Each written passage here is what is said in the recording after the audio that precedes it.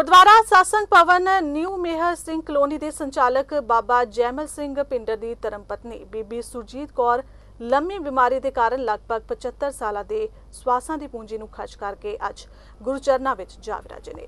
ਸਵਰਗੀ ਬੀਬੀ ਜੀ ਨੇ ਇੱਕ ਅਧਿਆਪਕਾ ਦੇ ਤੌਰ ਤੇ ਆਪਣਾ ਜੀਵਨ ਬਤੀਤ ਕੀਤਾ, ਜੋ ਕਿ ਆਪਣੇ ਵਿਦਿਆਰਥੀਆਂ ਅਤੇ ਹੋਰਨਾਂ ਵਿਅਕਤੀਆਂ ਨਾਲ ਕਾਫੀ ਮਿਲਣਸਾਰ ਸੁਭਾਅ ਅਤੇ ਧਾਰਮਿਕ ਵਿਚਾਰਾਂ ਦੇ ਧਾਰਨੀ ਸਨ।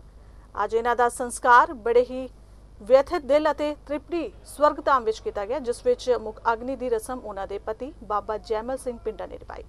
ਇਸ ਦੌਰਾਨ ਸਵਰਗੀ ਬੀਬੀ ਸੁਰਜੀਤ ਕੌਰ ਉਹਨਾਂ ਨੂੰ ਅੰਤਿਮ ਵਿਦਾਈ ਦੇਣ ਵਾਲਿਆਂ ਵਿੱਚ ਗੁਰਦੁਆਰਾ ਸਾਹਿਬ ਵਿਖੇ ਆਉਣ ਵਾਲੀ ਸੰਗਤ, ਸਮਾਜ ਸੇਵੀ ਅਤੇ ਰਾਸੀ ਆਗੂ ਮੌਜੂਦ ਰਹੇ। ਸਾਰੀ ਉਮਰ 'ਚ ਜੋ ਹੈ ਸੇਵਾ ਕੀਤੀ ਹੈ, ਮਹਾਪੁਰਸ਼ਾਂ ਦੇ ਦੀਵਾਨਾਂ ਦੀ, ਸਾਧੂ ਸੰਤਾਂ ਦੀ ਸੇਵਾ 92 ਤੋਂ ਲੈ ਕੇ 25 ਸਾਲ ਤੋਂ ਉੱਤੇ ਸਮਾਂ ਹੋ ਗਿਆ।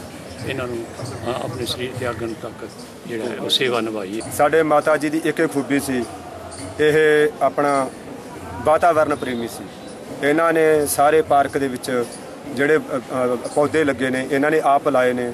ਆਪ ਲਾਇਆ ਹੀ ਨਹੀਂ ਕੇਵਲ, ਉਹਨਾਂ ਦੀ ਰਾਖੀ ਵੀ ਕੀਤੀ ਹੈ। ਉਹਨਾਂ ਨੂੰ ਪਾਣੀ ਵੀ ਪਾਇਆ ਅਤੇ ਉਹਨਾਂ ਨੂੰ ਜਿਹੜਾ ਹੈ ਪੂਰੀ ਤਰ੍ਹਾਂ ਬੱਚਿਆਂ ਵਾਂਗੂ ਪਾਲਿਆ। ਸਾਡੇ ਮਾਤਾ ਜੀ ਬੱਚਿਆਂ ਨੂੰ ਬਹੁਤ ਪਿਆਰ ਕਰਦੇ ਸੀ।